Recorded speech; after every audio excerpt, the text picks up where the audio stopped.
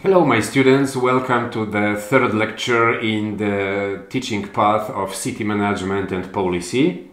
Uh, this time I am developing on the case which I sort of signaled in my last video lecture, the case of Cineworld. Uh, I will start by just reminding you the context and then I will go into the specific development. Uh, let's say that the teaching context of that case is to give you a possible topic for your graduation projects in this course of city management and policy. So let's waltz. I am getting smaller and I am getting to the next slide. So first of all, the reminder of the context. Uh, Cineworld is a chain of cinema theaters, uh, a global chain, uh, mostly present in Europe and in the United States. And uh, recently they announced that in response to an increasingly challenging theatrical landscape and sustained key market closures due to the COVID 19 pandemic, Cineworld confirms that it will be temporarily suspending operations at all of its 50 of, of 536 Regal theaters in the United States and its 127 Cineworld and Picture House theaters in the United Kingdom from Thursday 8th October 2020. In the slide uh, you can have you can find the links both to the general investors relations site of Cineworld and uh, below you can find the link to this specific statement published by the company. Just a reminder, in the description box below the video, you can find a link to the PowerPoint presentation, which I am using in the video, and where you can find all those useful links.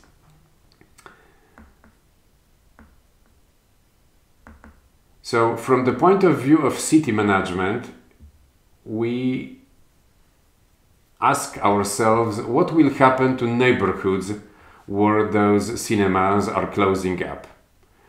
Uh, the picture that you can see here in the slide is the picture of the neighborhood just next to one of those cinemas that have just, just shut down, to the Clapham Picture House, uh, located in 76 Venn Street in London, in Clapham Town. And uh, the essential uh, the essential concept here is that when those cinemas close, it causes something that we call a ripple effect on local economies. Let me go to the next slide to explain the concept of ripple effect. So there are people who work in those cinemas. So the, uh, there are jobs that disappear with the closure of those cinemas. There are local businesses which supply to that cinema goods or services like transportation, catering, food and drinks for sale. Probably you know that in the cinema business, uh, you earn the most money, or you used to earn the most money by selling food and drinks, sometimes by selling some merch and not by selling tickets. Now, so now you have like a ripple going through those local economies around those 127 cinemas being closed across the United Kingdom.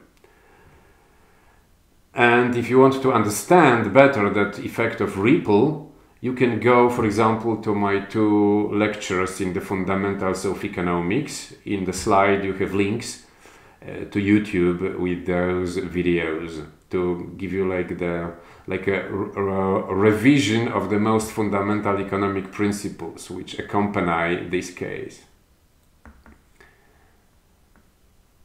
And now we will adopt the line of thinking which I proposed you to adopt in my first lecture. So I will propose you to think about this case as an opportunity for creating and developing a business concept in the lines of a real estate investment trust. Uh, go to the first lecture, uh, to the first video lecture to revise on the concept of real estate investment trust. Uh, now we go through the, like the main points of this particular development.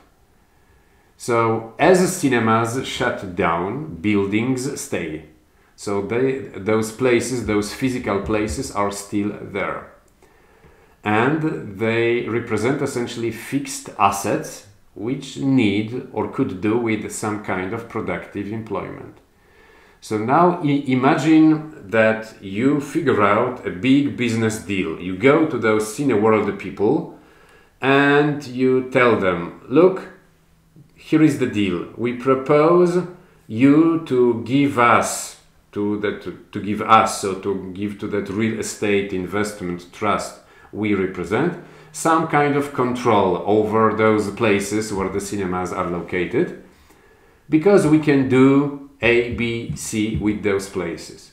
So you can figure out a real estate investment trust whose purpose would be to find an economically viable business concept for utilizing those premises left, temporarily or permanently, empty and non-working after the Cineworld's cinemas close up.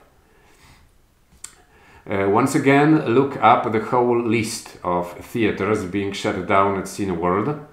Uh, uh, in the slide you have the link. And then take the position mentioned in the uh, on the question uh, mentioned in the following slide, no slides you can see that I am correcting my work as I am delivering the video lecture. Uh, okay, so now we have that thing. I will magnify it a little bit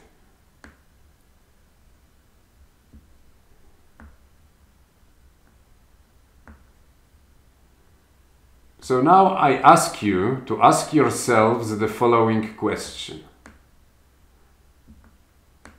What potential for economic gains does the real estate of those theaters represent? Once again, in order to understand it, go through that link or, or through that sub-site in the link or under the link shown in the last slide Go through that list of cinemas, use Google Maps or something else to figure out what kind of real estate is that, what kind of places and neighborhoods are these. And try to figure out the potential for economic gains that those, real, that those pieces of real estate represent. And try to go through the following questions. As those places are being left unused,